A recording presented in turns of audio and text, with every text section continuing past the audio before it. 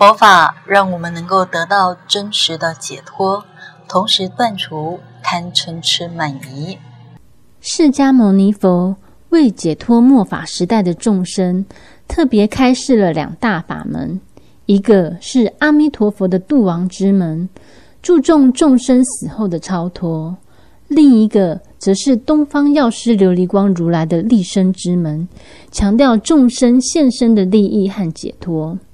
芸芸众生面临苦痛时，可照着药师经的方法来修行。只要咱照着伊的方法来做，比如讲咱内底，伊就讲着讲啊，放生啦、吃素食啦，来也是八关斋啦，哦为病人来求着啊，即消除病苦啦，来啊，因咧调克着伊的佛像啦，来供养礼拜，那是生念、生念伊的佛号。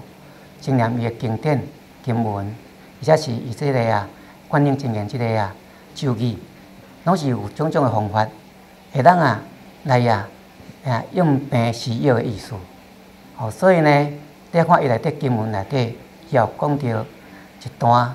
讲只要你要照着伊所讲的这方法来做，来修持的话，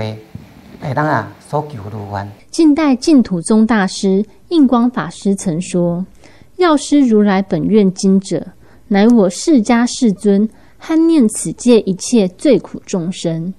为说药师如来因中果上立身之事实，为就近离苦得乐之无上妙法。众生若能发慈悲喜舍之大菩提心，诵持经咒及佛号，则可获破无明，圆成佛道。法界新闻，蔡孟章、刘明明台南采访报道。